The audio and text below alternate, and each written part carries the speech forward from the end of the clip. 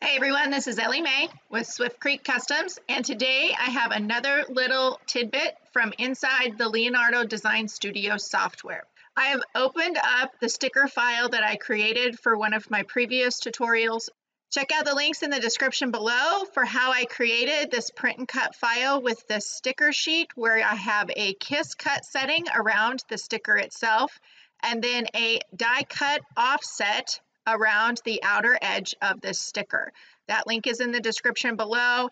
In this video tutorial, I want to share with you how you can turn those cut lines on and off. So for instance, if for some reason you would want to pause the machine between doing a kiss cut and before it goes to do your die cut, which is your cut through, you can do that in the Leonardo Design Studio software.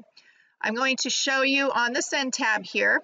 When you go to send this design to print and cut, you first have your print in the top left, and then you have your cutting contours in the bottom left underneath that.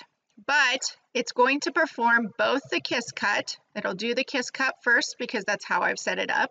And then it will do the die cut setting. This question popped up on how you could have it do kiss cut and then pause before you do the die cut. So I want to show you how you can do that and how you can get it to be separated.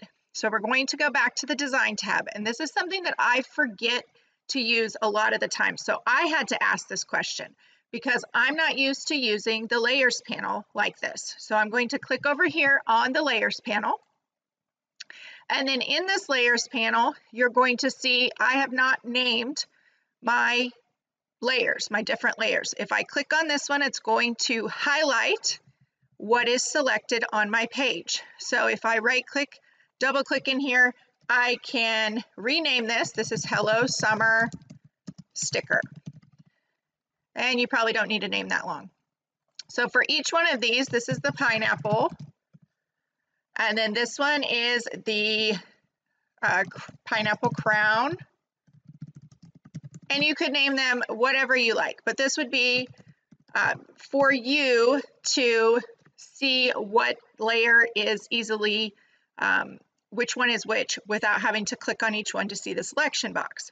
If I scroll down here, I can see I have separated out these contours, the die cut portion of the sticker and it shows as black, but all of these say shape.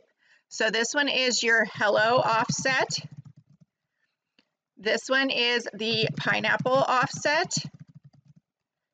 And then it'll it should be in the same order unless you've changed that. And so I'll just name these so it's easier for you to see.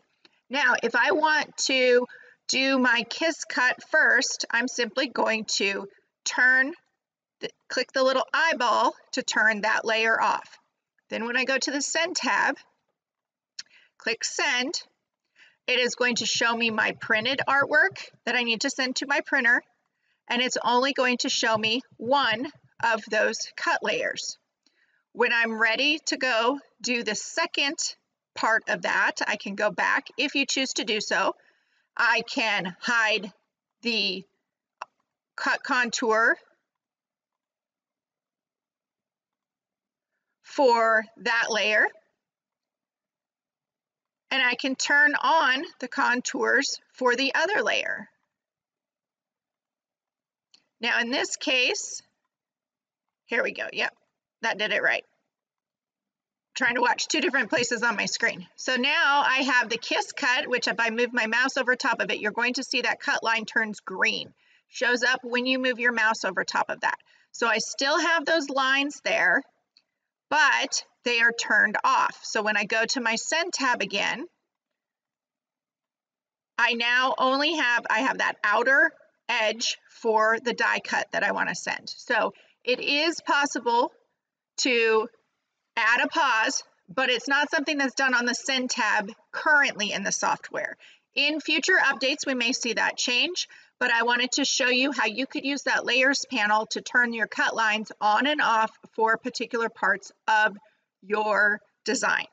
Now, the more I play with the layers panel, the more I like it. I used it a lot when I created the shadow box, which was of the Siser Italy that I presented to Siser. I used it a lot and I got into the habit of using it and it was really super cool. And then I just get out of the habit and I go back to doing the same things over and over again. So I just challenge you and myself to step outside of your comfort zone, try new things, push buttons in the Leonardo Design Studio software, and have fun. Again, if you have any questions, you can always reach out and ask on the Creating with Siser Juliet and Romeo Facebook group that's linked in the description below, or post a comment below and we will try to answer those. Thanks for joining me and have a great day.